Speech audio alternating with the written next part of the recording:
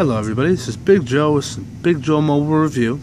Now this isn't quite a review, we're just going to go ahead and do a hard reset uh, on the LG Spirit. Now hard resetting this phone, um, all it means is that we're wiping out the data completely.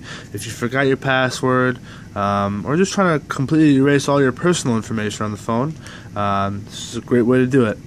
Um, now, my screen's cracked, not a big deal, uh, but still doesn't affect the actual process. Now, what you're going to do is you're going to look on your phone and look for the volume up and down on the left side of the phone, and on the right side you have the power button. What you want to do is you want to press and hold the volume up and down at the same time, and press and hold the power button at the same time.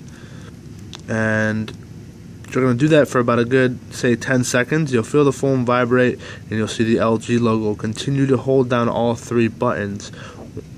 Once again, it's the volume up, volume down, and the power. You'll be presented with this menu. It says Factory Hard Reset. Permanently erase user data and reset settings, and then press power key to confirm. And we're going to go ahead and do that.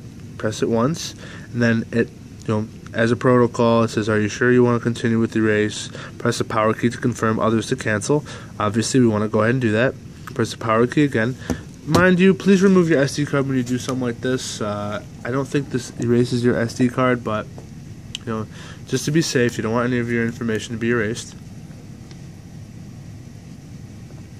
You'll see the Android appear. Now the phone is going to be completely wiped out as if it was um, received from the factory, and that's pretty much all you got to do.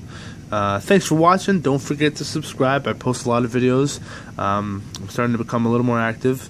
Uh, I kind of was uh, been very busy the last few months, and I plan on posting a lot more videos. If you have any suggestions, please leave them in the comment section below. I'll be more than happy to answer any questions that you may have. Thank you very much.